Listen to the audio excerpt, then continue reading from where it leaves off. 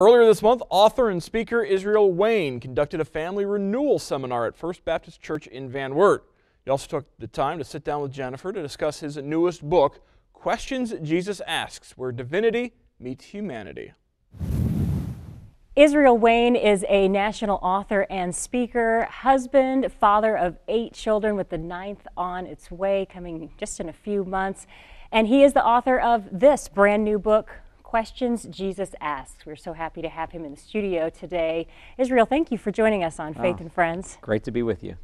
We could talk probably about so many topics. You are uh, you, you are a speaker in the Family Network. You travel around. You talk about um, how to revive families in a godly way. Mm-hmm. Um, but we're going to talk today about this particular book, Questions Jesus Asks: Where Divinity Meets Humanity, came out just earlier this year, so it's relatively new. Um, talk a little bit about the inspiration behind this book. Sure. Well, I wrote a book before this that was called Questions God Asks. And it came from a study that I was doing through the Old Testament. And when I was studying through the Old Testament, I noticed something that was a bit um, surprising to me. And that was that I noticed multiple times in the Bible where God asked questions. And I thought, why would God ask a question? I mean, God is omniscient, God knows everything. So, what is the purpose of these questions? And so it occurred to me that if God was asking a question, it wasn't for his benefit, it wasn't that he didn't know the answer. So it must be for the benefit of the person who's being asked the question. There's something that he wants them to think about, there's something he wants them to consider. And so what I did is I took each of those questions and I tried to chart them out topically. Like, what is the main topic or theme that this question addresses. So, for example, in the Old Testament, God asked Moses, What's in your hand? And he asked Elijah in the cave, What are you doing here? And he asked Abraham, Where is your wife? And he asked Balaam, Who are these men with you? And so on. Lots of these different questions. So I thought the questions must be for these individuals. What is it that God wants them to think about, and what are the topics being addressed?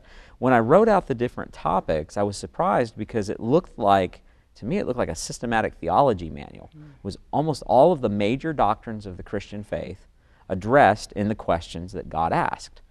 And I thought, I have to write this book. I have to explore this and sort of flesh out these questions. And I also believe that God never asks something arbitrarily or capriciously. If God asks a question, there's a, a purpose for us as well because it's included in Scripture. So if there wasn't some meaning or some application for us as individuals, God would have just left it out of the Bible.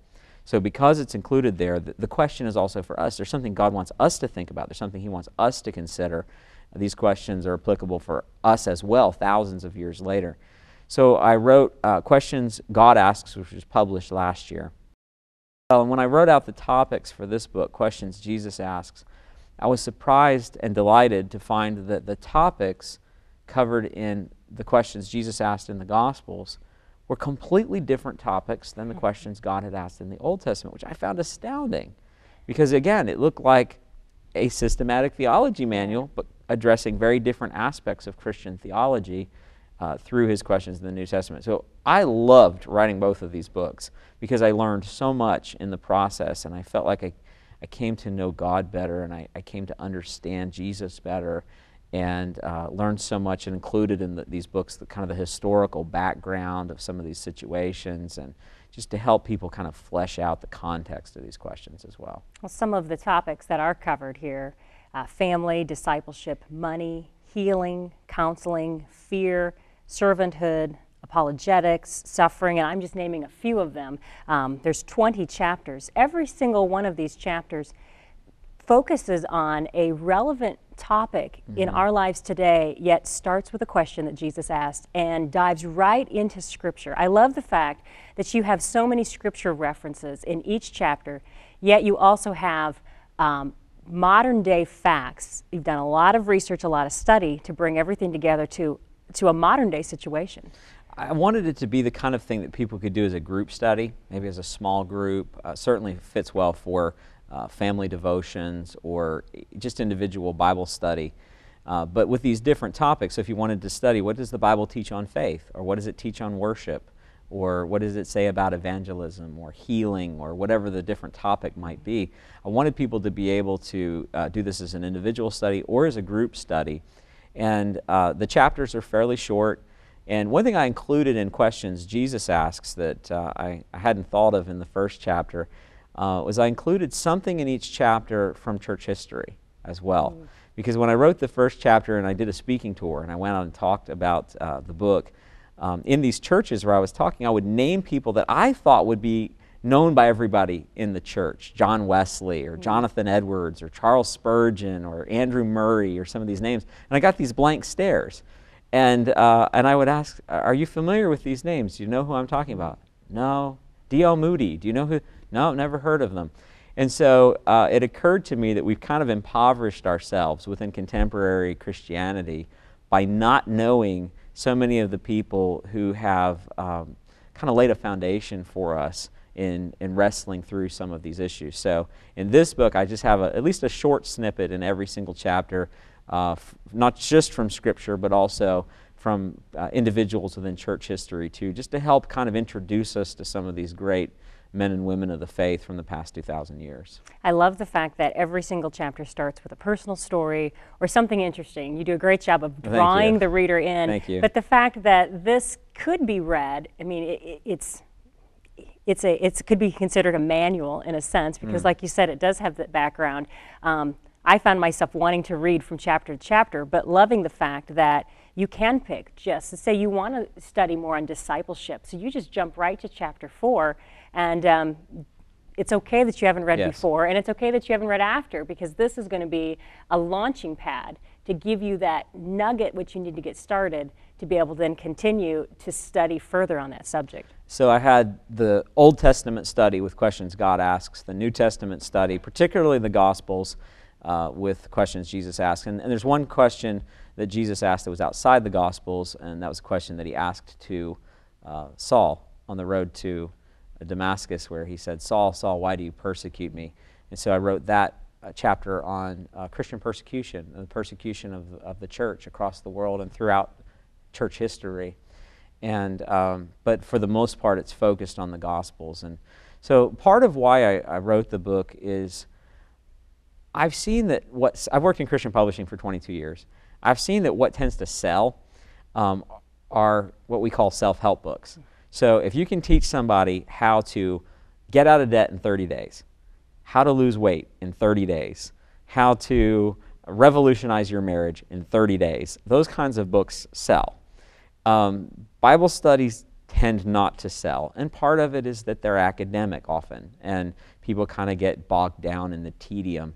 So what I wanted to do was I wanted to take really big concepts, you know, the big issues of the Christian faith, and I wanted to make them accessible. I wanted anyone, whether you have a theological background or not, even if you're a brand new Christian, that you could dive into this and read it, and it would be enjoyable and it would be understandable.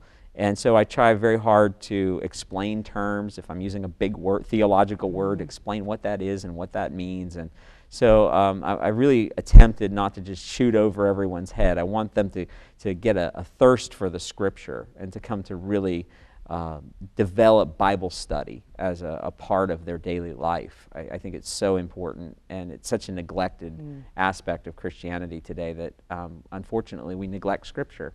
So I want to point people to Scripture, and I hope these books will be part of that process. Well, Israel Wayne, the book is called Questions Jesus Asked. Thank you for writing it. Oh. Because as I, as we were talking before this interview, I get so many books that are given to me, and I, I look at so many new books, and there's a lot of self-help books. There's a lot of books that don't really dive in, and this one I think dives in in a way that is not daunting. Mm. You can sit down and read this um, without worrying that you're going to have to go look up every single word. It's going to speak to you, but yet it's going to teach you. And I, I think that that very beneficial, not just for the Christian community, but for the entire reading community as well. There's a verse that jumps out to me in John 17, 3. It says, This is eternal life, that they may know you, the only true God, and Jesus Christ, whom you have sent.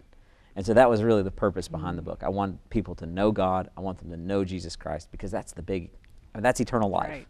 And so uh, if that happens, if I can encourage that uh, through these books, then um, it was definitely worth writing it. And uh, I, I, think people will be encouraged and blessed by it. And I'm grateful for the uh, opportunity to be able to share it here. All right, well, we still have one copy of this book, and you can win that copy. As you know, we have had a, a giveaway going on. All you have to do is email faithandfriends at WTLW.com to get your entry, or go to our website, faithandfriends.wtl or faithandfriends.com just look at the screen. The information is on the screen.